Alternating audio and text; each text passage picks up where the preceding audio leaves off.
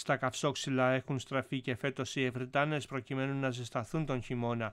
Η ζήτηση είναι αυξημένη, επισημαίνει ο δασάρχης Γιάννης Καρκάνης, που προσθέτει πως οι κάτοικοι των χωριών είναι καλυμμένοι από ξυλία που έχουν κόψει οι ίδιοι. Αυτή τη στιγμή ε, μπορούν, μάλλον έχουν προμηθευτεί οι περισσότεροι κάτοικοι της Ευρυτανίας με ξυλία, αυτοί που ζουν στα χωριά, με ξυλία που συλλέξαν μόνοι τους οι περισσότεροι υπό την καθοδήγηση της δασικής υπηρεσίας, είτε αυτοί ήταν ξεροί και κατακείμενοι, ήταν χλωρά ιστάμενα, τα οποία ήταν άχρηστα για άλλη χρήση, για τις τέχνες, όπως λέμε εμείς οι δασολόγοι.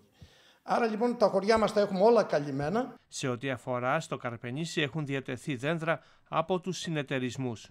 Έχουμε διαθέσει γύρω στα 2.000 και χωρικά κυβικά μέτρα από την παραγωγή των συνεταιρισμών μας, των 8 συνεταιρισμών της Βρετανίας. Αυτά διατεθήκαν με κριτήρια ε, κοινωνικά και οικονομικά. Αλλά λίγο πολύ όλοι ικανοποιηθήκαν. Απλά αυτοί που είχαν μικρότερα εισοδήματα ή για άλλους λόγους κοινωνικούς ε, προτιμήθηκε να ικανοποιηθούν πιο κοντά στον Καραπενήσι, οι άλλοι θα διατρέξουν λίγο μεγαλύτερες αποστάσεις. Ε, επιπλέον έχουν παραγωγή και οι ίδιοι οι συνεταιρισμοί μας, άλλα τόσα, άλλα 2.000 κυβικά με 2.500 χωρικά κυβικά μέτρα, καυσόξυλα, τα οποία και αυτά τα περισσότερα διατίθενται στην τοπική αγορά, αλλά με συνθήκες ε, πλέον εμπορίου.